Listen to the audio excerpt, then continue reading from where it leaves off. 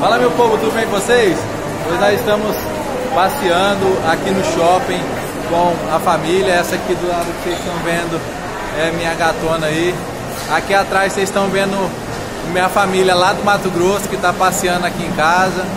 E aqui, olha os pequenos aí, ó. A Tayla, o Abner, olha o Abner dando tchau para vocês. E eu gostaria de aproveitar esse momento para poder é, desejar a todos vocês um Feliz Natal e que Deus possa iluminar o coração de cada um de vocês e que nós não, não, não nos esqueçamos nunca do verdadeiro símbolo do Natal, que não são as festividades, e sim o nascimento do nosso Senhor e Salvador Jesus Cristo. Então que Deus possa abençoar a vida de cada um de vocês, tá bom? Um Feliz Natal a todos! Tchau, pessoal. Um grande abraço. Valeu. Tchau. Tchau, pessoal.